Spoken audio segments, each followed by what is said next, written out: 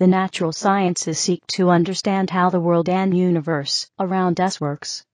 There are five major branches chemistry, center, astronomy, earth science, physics, and biology, clockwise from top left.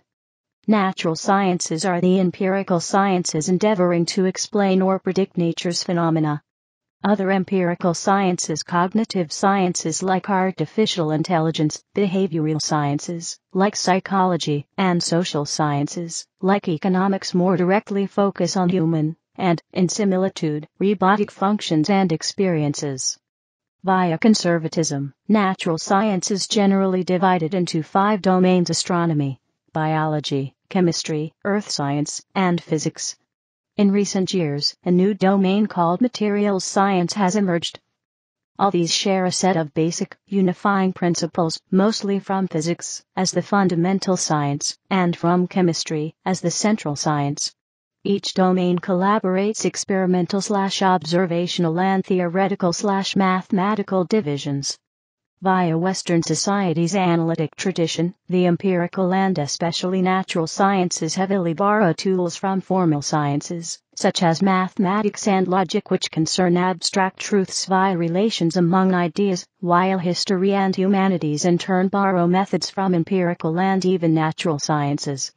Yet empirical sciences relying more on qualitative research, such as social sciences, are sometimes called soft science, whereas natural sciences, insofar as emphasizing quantifiable data produced, tested, and confirmed by a scientific method especially in physical sciences are sometimes called hard science.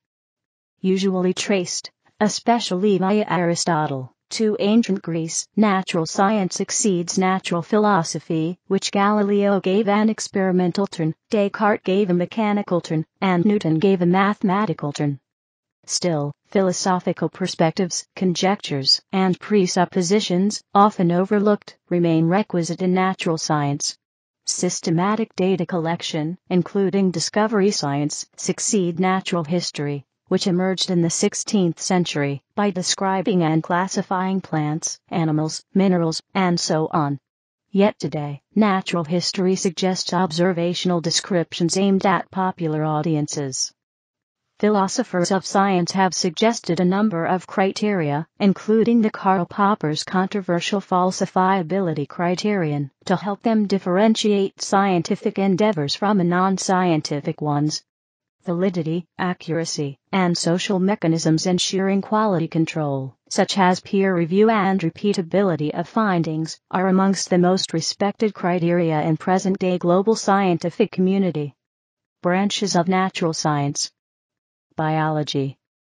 A fragment of DNA, the chemical sequence that contains genetic instructions for the development and functioning of living organisms. This field encompasses a set of disciplines that examines phenomena related to living organisms. The scale of study can range from subcomponent biophysics up to complex ecologies.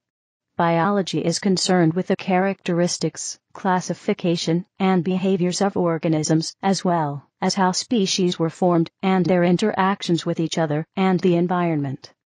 The biological fields of botany, zoology, and medicine date back to early periods of civilization, while microbiology was introduced in the 17th century with the invention of the microscope.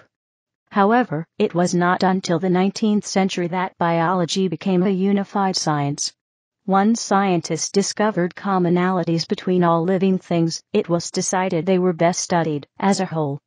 Some key developments in biology were the discovery of genetics, Darwin's theory of evolution through natural selection, the germ theory of disease, and the application of the techniques of chemistry and physics at the level of the cell, or organic molecule. Modern biology is divided into subdisciplines by the type of organism and by the scale being studied.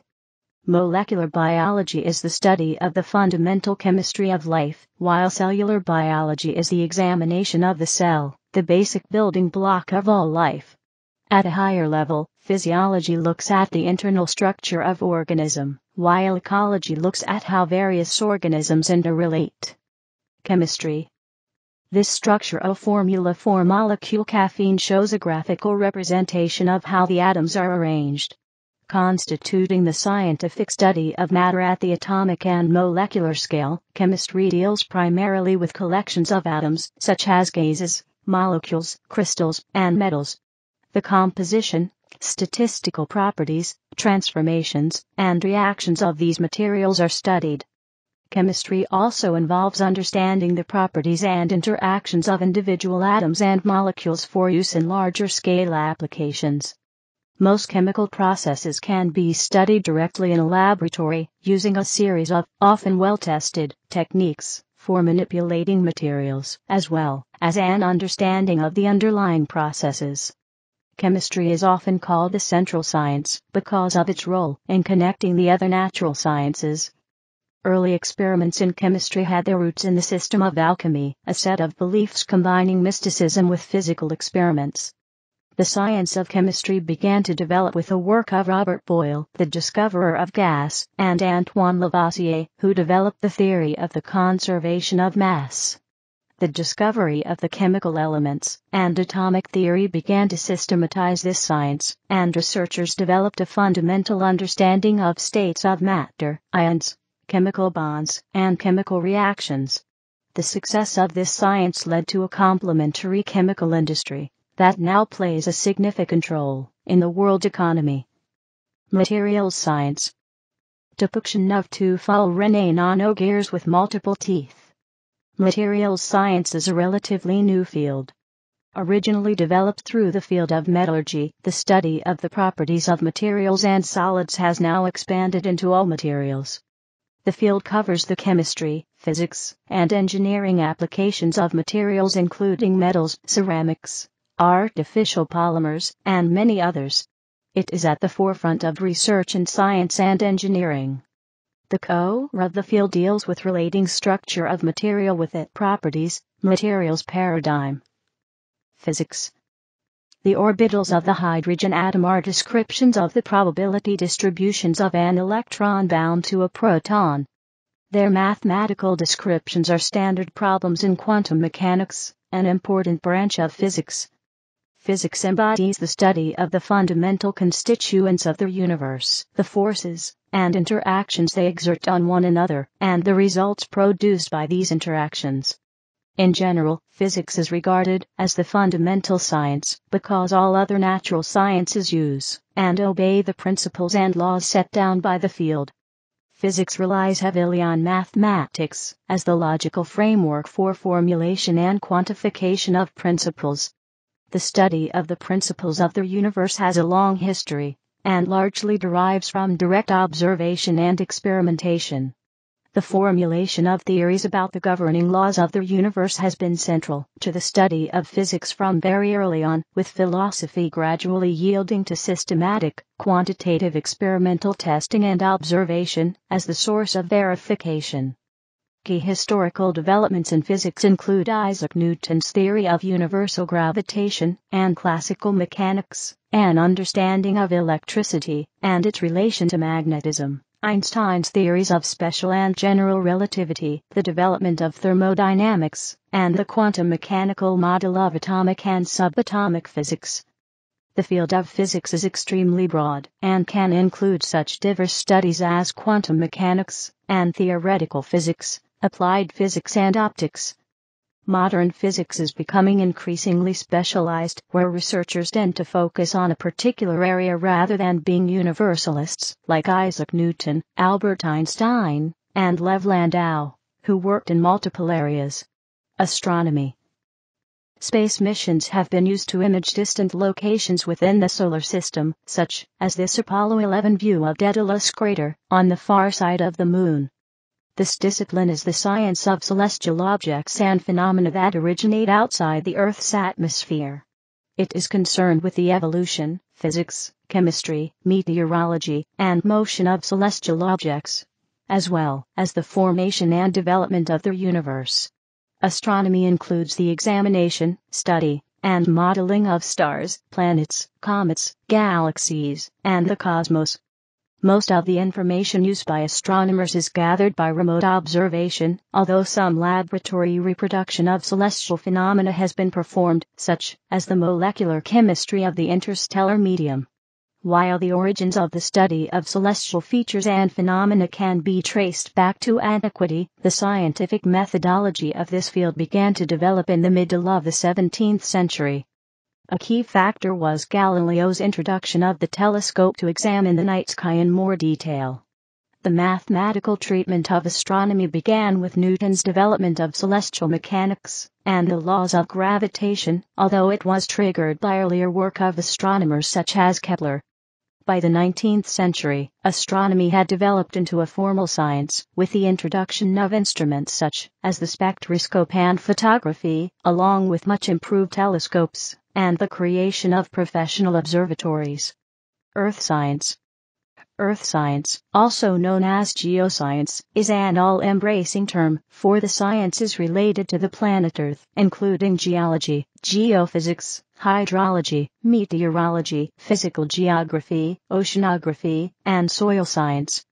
Although mining and precious stones have been human interests throughout the history of civilization, the development of the related sciences of economic geology and mineralogy did not occur until the 18th century. The study of the earth, particularly paleontology, blossomed in the 19th century.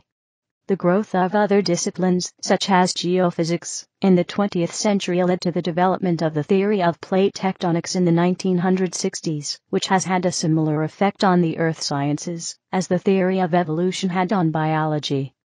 Earth sciences today are closely linked to petroleum and mineral resources, climate research, and to environmental assessment and remediation. Atmospheric science. Though sometimes considered in conjunction with the earth sciences, due to the independent development of its concepts, techniques, and practices, and also the fact of it having a wide range of subdisciplines under its wing, the atmospheric science is also considered a separate branch of natural science. This field studies the characteristics of different layers of the atmosphere from ground level to the edge of the time. The timescale of study also varies from days to centuries. Sometimes the field also includes the study of climatic patterns on planets other than Earth. Oceanography the serious study of oceans began in the early to mid 1900s as a field of natural science. It is relatively young, but standalone programs offer specializations in the subject. Though some um, controversies remain as to the categorization of the field under earth sciences, interdisciplinary sciences, or as a separate field in its own right, most modern workers in the field agree that it has matured to a state that it has its own paradigms and practices. As such a big family of related studies spanning every aspect of the oceans is now classified under this field. Interdisciplinary studies. The distinctions between the natural science disciplines are not always sharp, and they share a number of cross-discipline fields. Physics plays a significant role in the other natural sciences, as represented by astrophysics, geophysics, chemical physics, and biophysics. Likewise chemistry is represented by such fields as biochemistry, geochemistry, and astrochemistry. A particular example of a scientific discipline that draws upon multiple natural sciences is environmental science. This field studies the interactions of physical, chemical, geological, and biological components of the environment, with a particular regard to the effect of human activities and the impact on biodiversity and sustainability. The science also draws upon expertise from other fields such as economics, law, and social sciences. A comparable discipline is oceanography, as it draws upon a similar breadth of scientific disciplines. Oceanography is subcategorized into more specialized cross disciplines such as physical oceanography and marine biology. As the marine ecosystem is very large and diverse, marine biology is further divided into many subfields, including specializations in particular species. There are also a subset of cross-disciplinary fields which, by the nature of the problems that they address, have strong currents that run counter to specialization. Put another way, in some fields of integrative application, specialists in more than one field are a key part of most dialogue. Such integrative fields, for example, include nanoscience, astrobiology, and complex system informatics. History Some scholars trace the origins of natural science as far back as pre-illiterate human societies, where understanding the natural world was necessary for survival. People observed and built up knowledge about the behavior of animals and the usefulness of plants as food and medicine, which was passed down from generation to generation.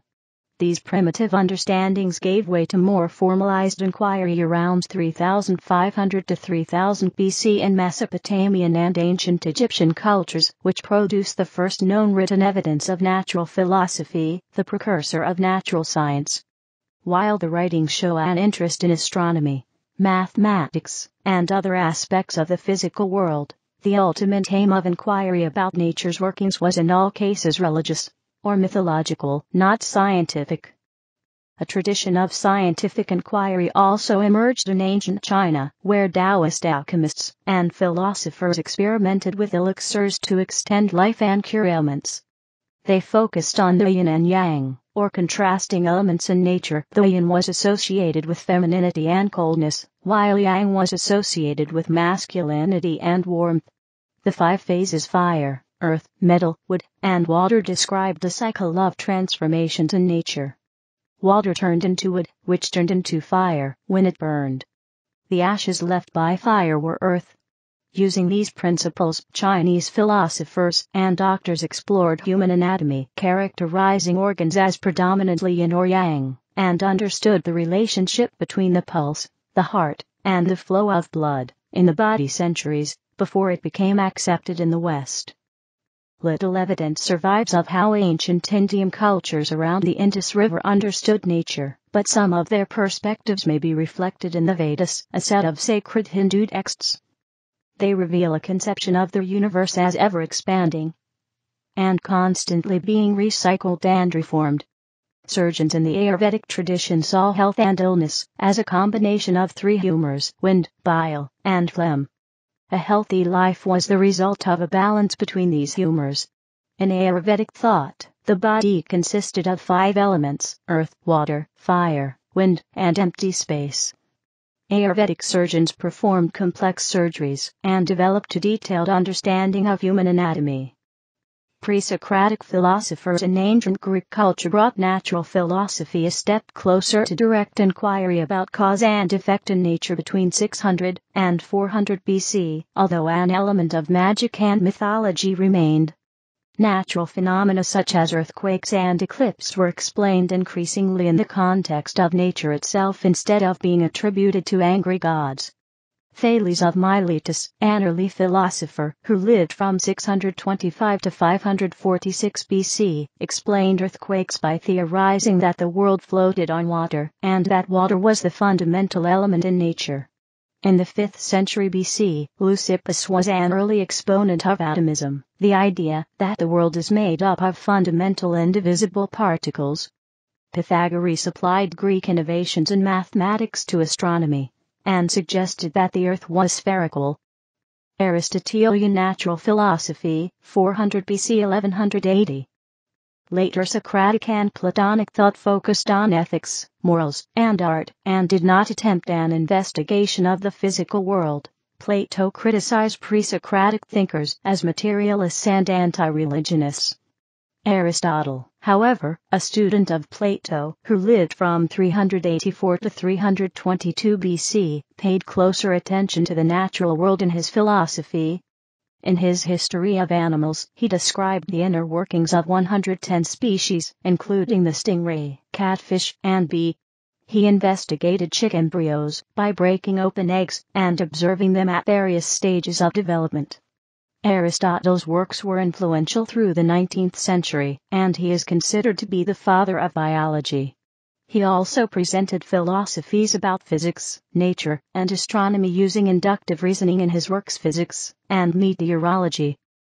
Plato left, and Aristotle in a 1509 painting by Raphael.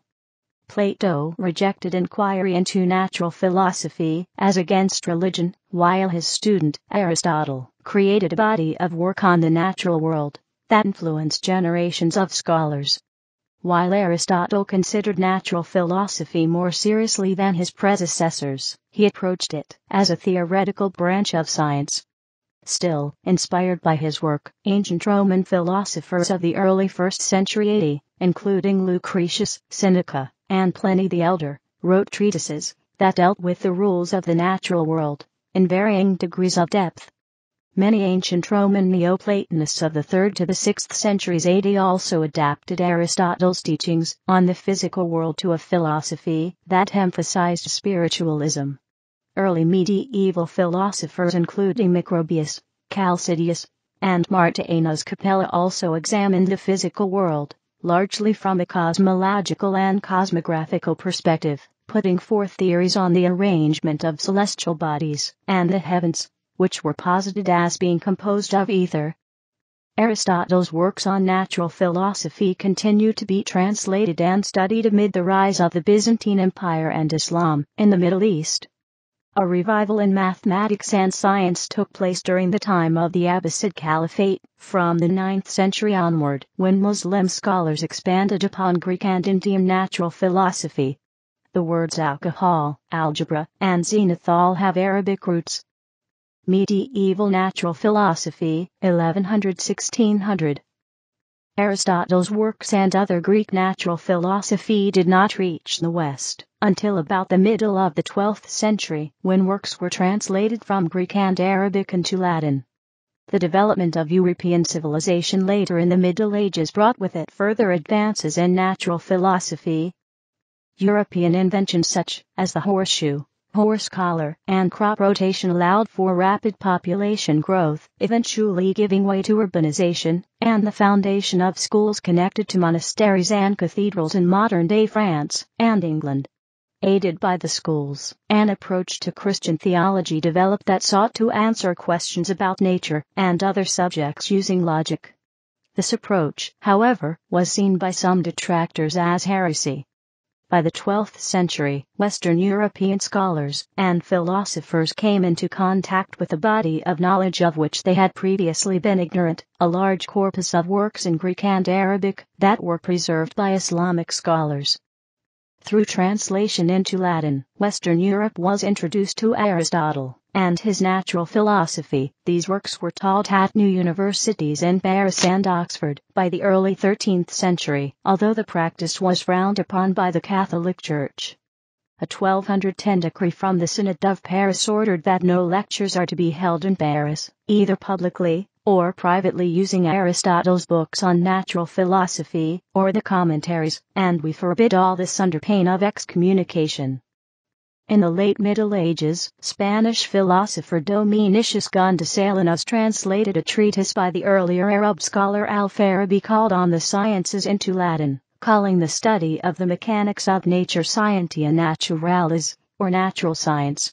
Gundissalinus also proposed his own classification of the natural sciences in his 1150 work on the division of philosophy, this was the first detailed classification of the sciences based on Greek and Arab philosophy to reach Western Europe. Gundissalinus defined natural science as the science considering only things unabstracted and with motion, as opposed to mathematics and sciences that rely on mathematics. Following Al-Farabi, he then separated the sciences into eight parts, including physics, cosmology, meteorology, mineral science, and plant and animal science. Later philosophers made their own classifications of the natural sciences. Robert Kilwardby wrote on the order of the sciences in the 13th century that classed medicine as a mechanical science, along with agriculture, hunting and theater, while defining natural science as the science that deals with bodies in motion. Roger Bacon, an English friar and philosopher, wrote that natural science dealt with the principle of motion and rest, as in the parts of the elements of fire, air, earth, and water, and in all inanimate things made from them. These sciences also covered plants, animals, and celestial bodies. Later in the 13th century, Catholic priest and theologian Thomas Aquinas defined natural science as dealing with mobile beings and things which depend on matter not only for their existence, but also for their definition. There was wide agreement among scholars in medieval times that natural science was about bodies in motion, although there was division about the inclusion of fields including medicine, music, and perspective. Philosophers pondered questions including the existence of a vacuum, whether motion could produce heat, the colors of rainbows, the motion of the earth, whether elemental chemicals exist, and wherein the atmosphere rain is formed. In the centuries up through the end of the Middle Ages, natural science was often mingled with philosophies about magic and the occult. Natural philosophy appeared in a wide range of forms, from treatises to encyclopedias to commentaries on Aristotle. The interaction between natural philosophy and Christianity was complex during this period. Some early theologians, including Tatian and Eusebius, considered natural philosophy an outcropping of pagan Greek science, and were suspicious of it. Although some later Christian philosophers, including Aquinas, came to see natural science as a means of interpreting scripture, this suspicion persisted until the 12th and 13th centuries. The condemnation of 1277, which forbade setting philosophy on a level equal with theology, and the debate of religious constructs, in a scientific context, showed the persistence with which Catholic leaders resisted the development of natural philosophy even from a theological perspective. Aquinas and Albertus Magnus, another Catholic theologian of the era, sought to distance theology from science in their works. I don't see what one's interpretation of Aristotle has to do with the teaching of the faith, he wrote in 1271. Newton and the Scientific Revolution, 1600-1800. By the 16th and 17th centuries, natural philosophy underwent an evolution beyond commentary on Aristotle as more early Greek philosophy was uncovered and translated the invention of the printing press in the 1400s, the invention of the microscope and telescope, and the Protestant Reformation fundamentally altered the social context in which scientific inquiry evolved in the West. Christopher Columbus's discovery of a new world changed perceptions about the physical makeup of the world, while observations by Copernicus, Tycho Brahe and Galileo brought a more accurate picture of the solar system as heliocentric and proved many of Aristotle's theories about the heavenly bodies false. A number of 17th century philosophers, including Thomas Hobbes, John Locke, and Francis Bacon made a break from the past by rejecting Aristotle and his medieval followers outright, calling their approach to natural philosophy as superficial. The titles of Galileo's work Two New Sciences and Johannes Kepler's New Astronomy underscored the atmosphere of change that took hold in the 17th century as Aristotle was dismissed in favor of novel methods of inquiry into the natural world. Bacon was instrumental in popularizing this change. He argued that people should use the arts and sciences to gain dominion over nature. To achieve this, he wrote that human life must be endowed with new discoveries and powers, he defined natural philosophy as the knowledge of causes and secret motions of things and enlarging the bounds of human empire to the effecting of all things possible. Bacon proposed scientific inquiry supported by the state and fed by the collaborative research of scientists, a vision that was unprecedented in its scope, ambition, and form at the time. Natural philosophers came to view nature increasingly as a mechanism that could be taken apart and understood, much like a complex clock. Natural philosophers including Isaac Newton, Evangelista Torricelli, and Francesco Redi conducted experiments focusing on the flow of water, measuring atmospheric pressure using a barometer, and disproving spontaneous generation. Scientific societies, and scientific journals emerged and were spread widely through the printing press, touching off the scientific revolution. Newton in 1687 published his The Mathematical Principles of Natural Philosophy, or Principia Mathematica, which set the groundwork for physical laws that remained current until the 19th century. Some modern scholars, including Andrew Cunningham, Perry Williams, and Floris Cohen, argue that natural philosophy is not properly called a science and that genuine scientific inquiry began only with the scientific revolution. According to Cohen, the emancipation of science from an overarching entity called natural philosophy is one defining characteristic of the scientific revolution. Other historians of science, including Edward Grant, contend that the scientific revolution that blossomed in the 17th 18th, and 19th centuries occurred when principles learned in the exact sciences of optics, mechanics, and astronomy began to be applied to questions raised by natural philosophy.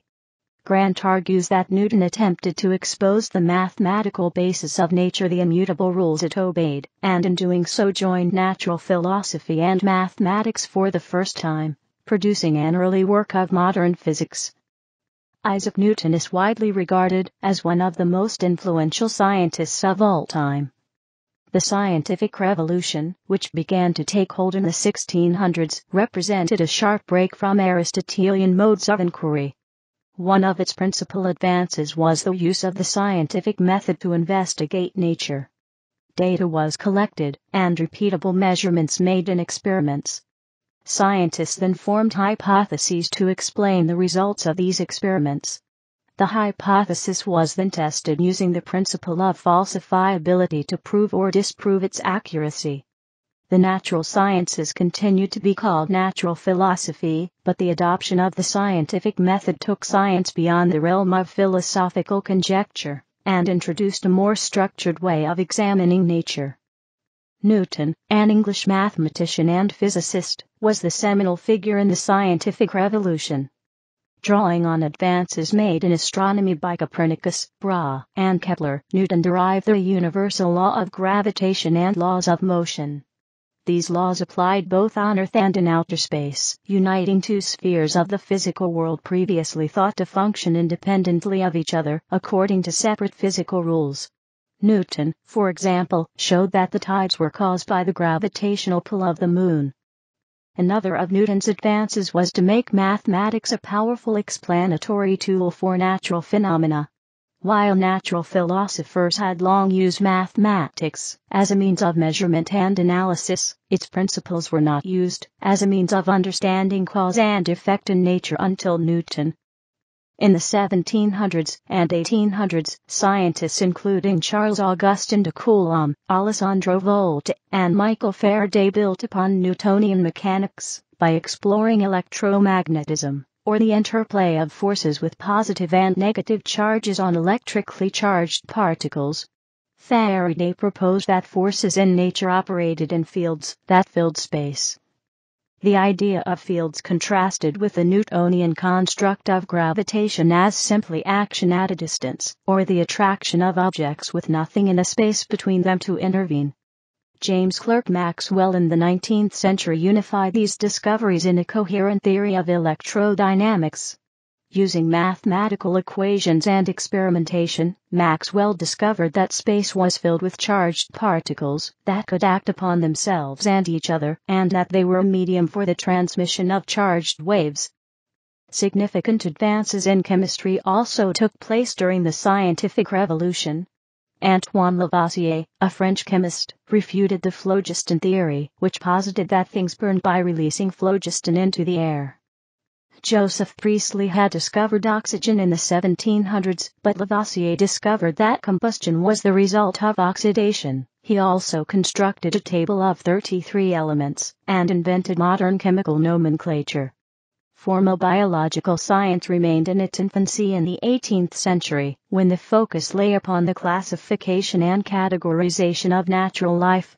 This growth in natural history was led by Carolus Linnaeus, whose 1735 taxonomy of the natural world is still in use. Linnaeus in the 1750s introduced scientific names for all his species.